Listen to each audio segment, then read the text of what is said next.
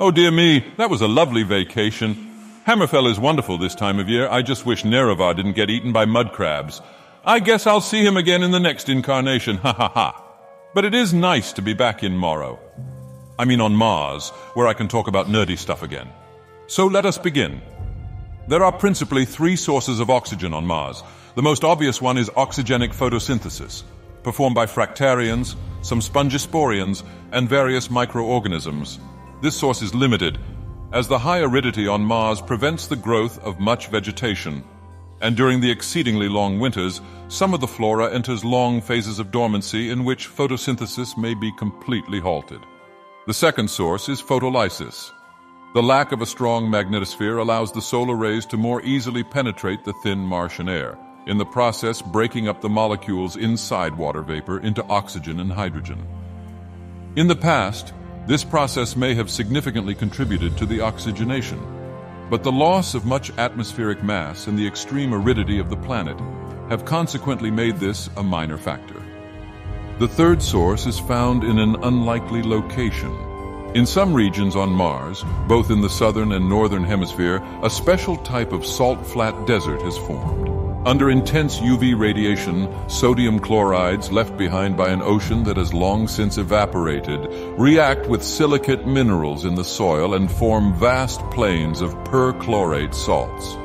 Perchlorates occur naturally on Earth only in places like the Atacama Desert or Death Valley, and are otherwise mainly produced and used in rocket and pyrotechnics industries.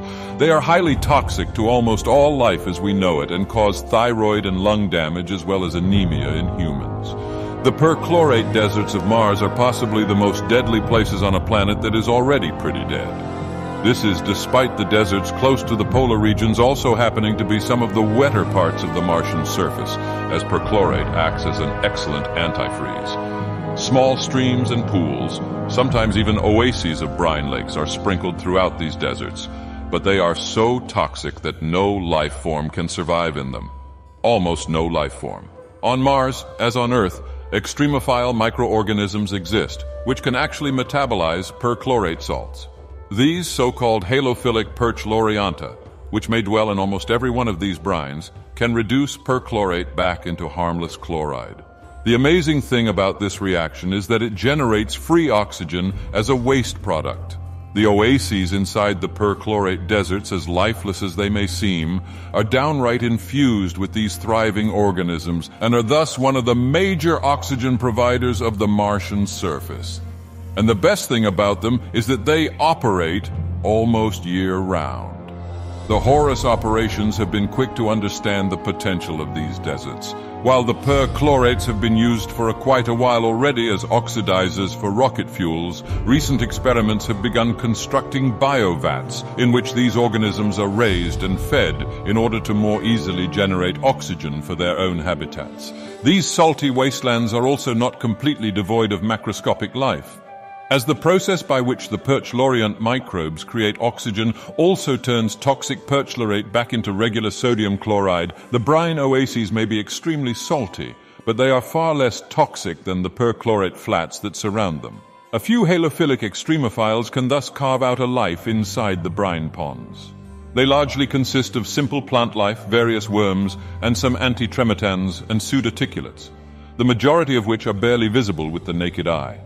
These salt dwarves may tremble when the shadow of a Caraxor glides over their home. It is the only large animal thriving in this desolation. The Caraxor is a periostracon distantly related to the Nothornithes.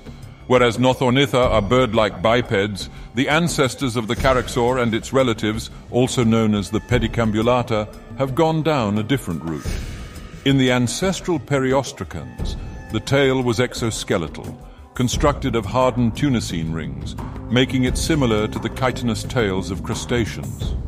In some of their descendants, many of these rings seem to have fused with each other into elongated solid elements until they formed a third appendage comparable to the hind legs of some insects. The evolution of a third leg has given the older limbs of these tripods more freedom than in the Benus, allowing them to adapt to more specialized uses. Evidently, some took to flying. With its bat-like wings, the Caraxor soars through the deserts in search of brine pools. In these, the aerial tripod wades and feeds much like an Andean flamingo. Pedicambulates have a much higher tendency towards polydonty than their nothornite cousins, meaning that their scolecophores can bear multiple tooth shafts. The four scolecophores of its jaw thus bear multiple shafts, forming comb-like tight slits. With this derived jaw apparatus, it sifts the brine for small organisms, of which it is the only predator. Strong glands underneath the armpits help with excreting much of the salt, allowing it also to drink the brine. During flight and feeding, a dense pelt of white fur protects it from the harsh solar rays and the cold desert nights. Possibly the Caraxor also has some form of tolerance to the toxic effect of perchlorates, perhaps through endosymbiosis with the same organisms that make the desert livable. Caraxors do not sleep or nest beside the brine pools in which they feed.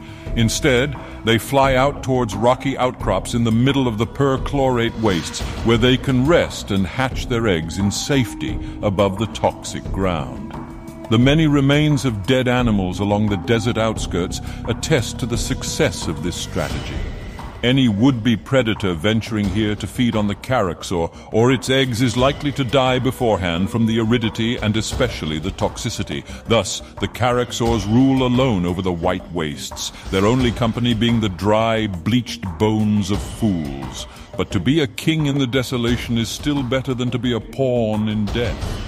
It is a largely peaceful life, with their only enemies being disease or themselves. I hope you enjoyed this video and look forward to the coming ones. Make sure to like and subscribe, visit the project's original website, and maybe also check out my Patreon, Yunhua. There you may get to view the next videos early.